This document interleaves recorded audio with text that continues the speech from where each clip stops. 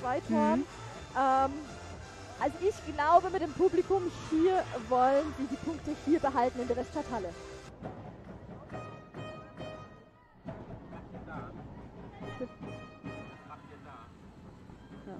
Und, Kim Knights Navicius, Richtig. da drüber ist nicht immer so einfach, aber sie bringen, ja gut, gut in der Zusammenarbeit, Torfrau Ja. und Block. Auch die klassische Auftakthandlung schön gehalten. Ähm, ich glaube, das ist aber ein Winkel, den sie durchaus verwerten kann. Gut gemacht von Melanie Veit, erfahrene Torfrau, Ja, die sich da gleich mal auszeichnen kann. Und das war dann jetzt so ein Abpraller, Das von dem du eine, eben oder? gesprochen ja, hast. ja, ja. Undankbar als Torfrau.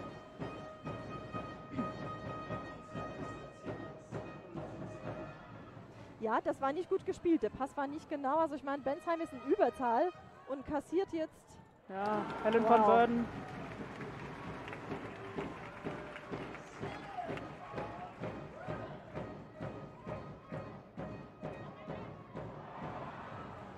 Ja, der war.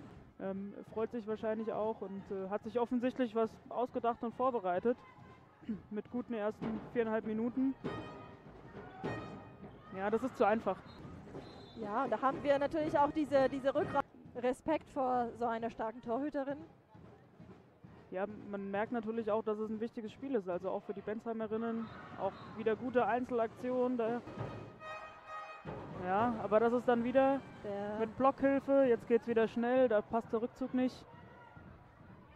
Und dann genau. auch schon verworfen.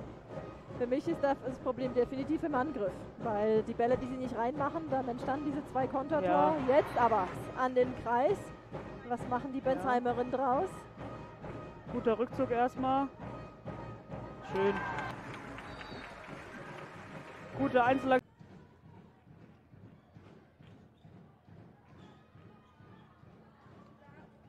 Ja. Stark gemacht. Ja. Sie haben natürlich auf allen Positionen ähm, richtig gute Spielerinnen. Also äh, Rückraum links, Rückraum rechts. Ist Rückraumgefahr am Kreis die Kapitän und die Außenspielerinnen wissen auch, wie man wirft. Ja. Also Ja, das äh, sehe ich auch so. Ja, ah, ja, sie arbeiten gut um den Kreis. Ach, ja.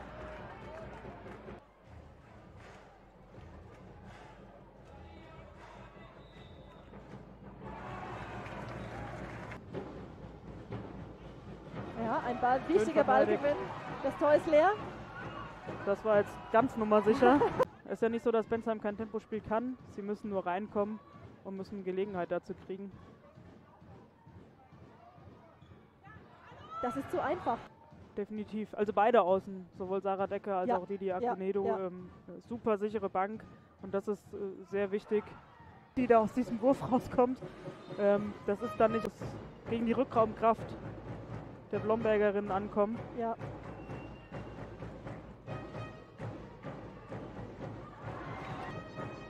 Ja, wir sehen beim Blomberg irgendwie aus allen Positionen Würfe. Wir haben schon vom Kreis von rechts außen, links außen ein bisschen weniger.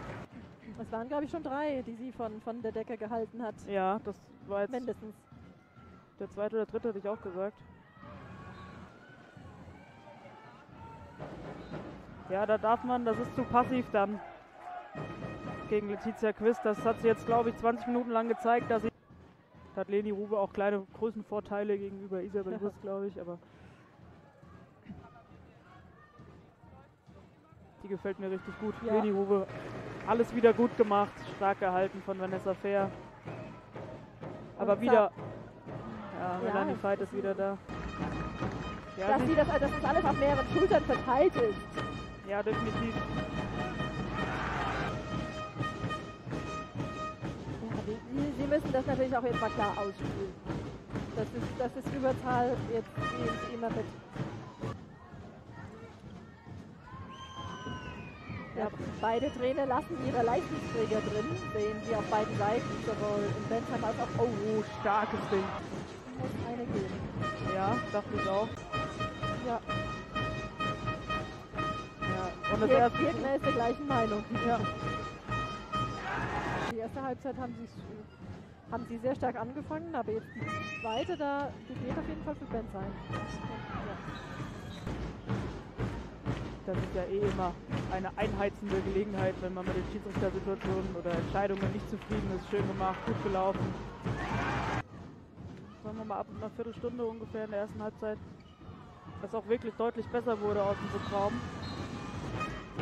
Auch auf dem Feld. Felisa Fußberger, die zwei Minuten Strafe hat. Sie macht das immer wieder. Ja, und die macht das so gut, Und- setzt sich so gut durch. Ja. Sie findet eine Lücke, die irgendwie gar nicht da ist oder existiert, aber sie findet sie. Schönes 1 gegen 1. Wobei sie auch schon in der ersten Halbzeit eine der wichtigeren Spielerinnen war. Und Sarah Decker nochmal. Ja, wieder kurz. Das ist dieses kurze Eck Ja. macht Melanie Veit heute, glaube ich, nicht mehr frei. Nee.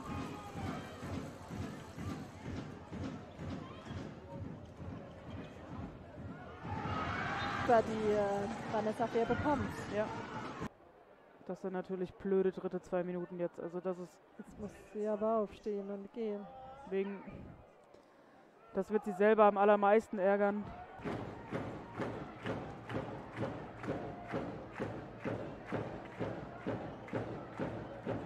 Ja. Ah!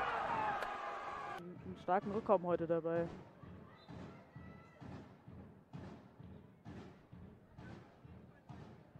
Die da. Blomberg wird es nicht verlieren.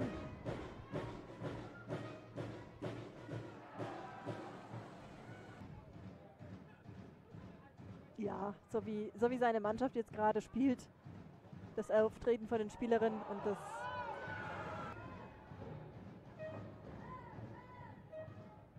Ja, gut. ja, Ballgewinn, ein wichtiger.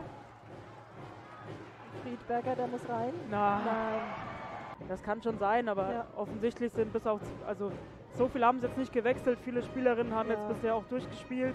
Also das nur auf die Kraft wahrscheinlich auch zu einfach. Ähm, wahrscheinlich.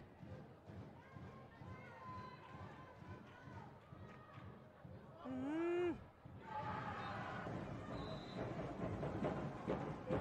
Schade, dass das nicht mit dem Tor belohnt wird noch. ja, Auch wenn das jetzt wahrscheinlich am Gewinner nichts mehr geändert hätte. Ja. Und Leni Ruwe. Macht den Deckel zu mit ihrem fünften Treffer. Glückwunsch nach Blomberg. Glückwunsch Absolut nach verdienter Blomberg. Sieg. Definitiv, also es hat Spaß gemacht, auch zuzuschauen. Ja, ja. Auch der Trainerkreis hüpft da hinten zurecht.